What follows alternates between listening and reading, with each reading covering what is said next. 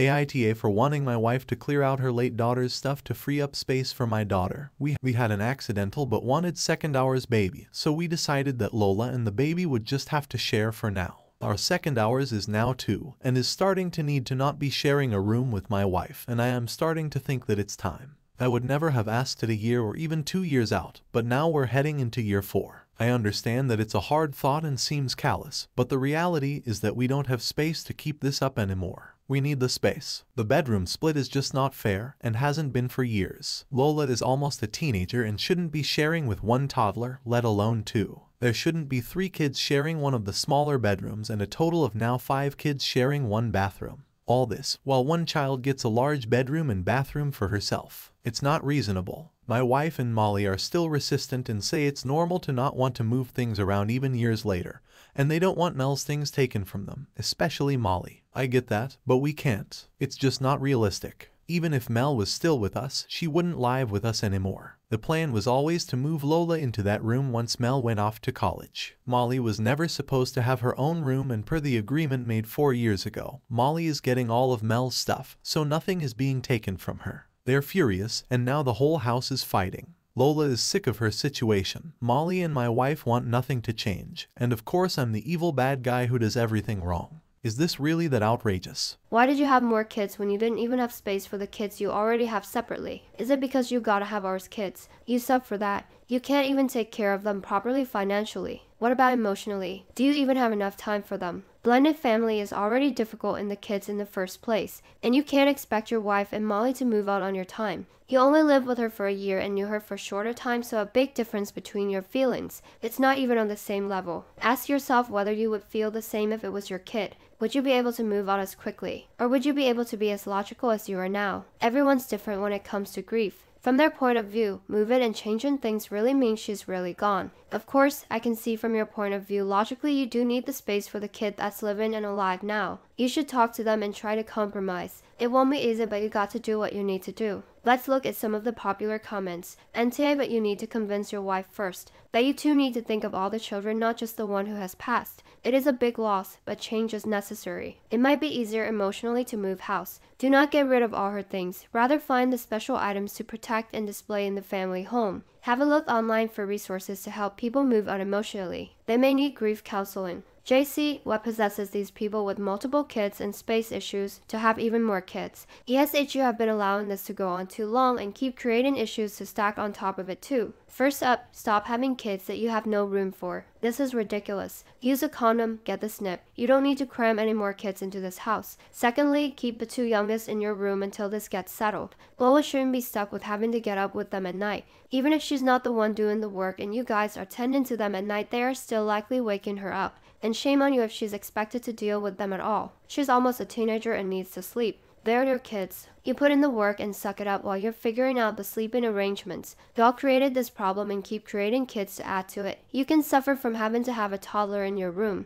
Thirdly, you need to keep on your wife about freeing up this room. I can understand not wanting Mel's stuff thrown out.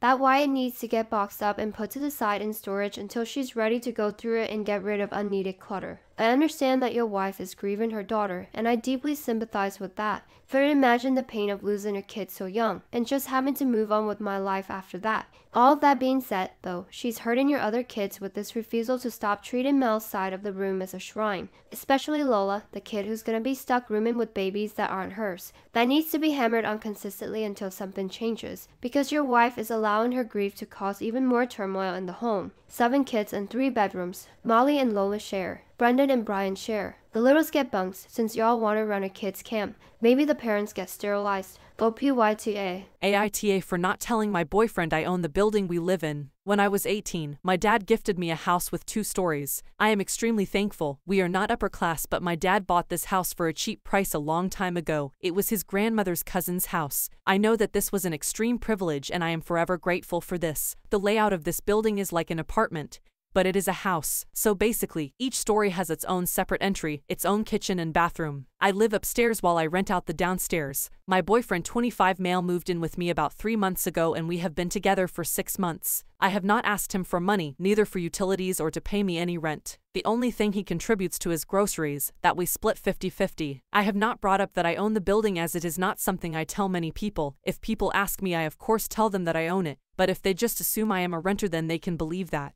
The topic of a landlord, the renter downstairs or the owner of the building has not been something we have talked about. This last Tuesday the renter came up to tell me that her freezer has stopped working. I answered the door and my boyfriend heard us talking I suppose. I went downstairs to take a look and we came to the conclusion that she would buy a new one, send me the receipt and I would give her the money. She was very grateful for this solution. When I went upstairs my boyfriend asked if it could be fixed. I told him no, but she was going to buy a new one and I would pay for it. He looked at me like I was crazy and asked me why the heck I would pay for her freezer. I told him that because I am her landlord and the freezer was there when she started renting, I would stand for the cost. He just asked me if I was serious, to which I said I was. He begun screaming at me, asking him why the heck I would hold this information from him, and that I was an evil person. I said I was sorry for not telling him but I did not think that it would matter. He said he could not believe he was together with someone who is a landlord, that all of us just use people for money, and that the only thing we people care about is money and would rather have people be homeless than offering affordable rent. The downstairs is one kitchen, one bath and four other rooms. I charge $500 in rent. I understand many people have had trouble with landlords, but I try my best to be a good one. He demanded that I give him 50% of the money I make from rent or else I was just as bad as he thought. Was I really the jerk for not telling him? He has not talked to me since Tuesday and I have tried telling him that I am truly sorry, but he doesn't answer me at all. What? You're too nice for your own good. You tried to apologize to him after that, and he had the audacity to ignore you. You would have kicked him out that very night because he showed his true colors. A leech, really. Didn't you see the big red flag that he didn't even offer to pay rent or utilities in the first place? I understand if he asked and you declined because you didn't need it, but he assumed he didn't need to pay since you're already living there or something. That kind of mentality, oh, it makes no difference if I live here as well since you're already paying for everything yourself. Oh, big fat no. It matters that I'm no longer living alone. I'm not your parents. You've only been together for six months. He asked to move in with you rent free after only three months. I don't know, it really looks like he's with you for the free rent. Now he's making a big fuss about you being a big bad landlord, but he wants a 50% cut. Break up with him and kick him out as Pete don't listen to anything he might say afterward. He might just try to manipulate you or backtrack. You don't need this kind of trash in your life. Let's look at some of the popular comments. Let me get this straight. He must not have offered to pay half of the rent, because then it would have come up and you would have told him, right, he is living with you rent free. Up to now, he thought you were paying the entire rent. On what planet does he deserve half of the tenant's rent money? Please reconsider this relationship. NTA, NTA, dump him. I know that's a common response on this subreddit, but this dude was happy to exploit you for free lodging, and now that he finds out you've got income he wasn't aware of he wants half of it just cause or else you're a big meanie. You do not owe him an apology. You owe him a kick in the rear. While either this isn't real or your BF is a crazy jerk, why would you want to date and stay with someone like that? NTA but get rid of this guy if he actually exists.